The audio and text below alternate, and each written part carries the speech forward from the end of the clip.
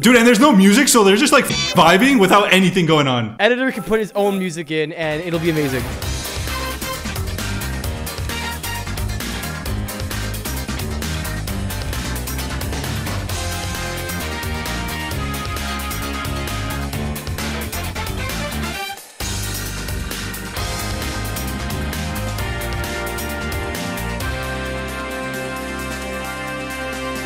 Oh, you win. Oh.